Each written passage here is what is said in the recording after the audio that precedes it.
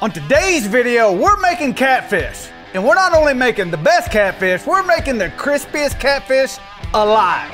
So, super easy. These are some little fat fillets right here.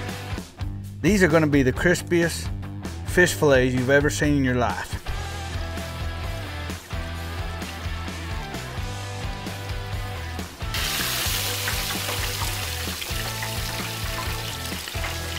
All right, this is what these dudes look like.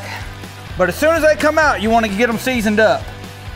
Nashville hot, lemon pepper. Oh, well, they got a little bit. Ah, got burnt. That crunch, hands down. But come on now, Nashville hot. This is phenomenal.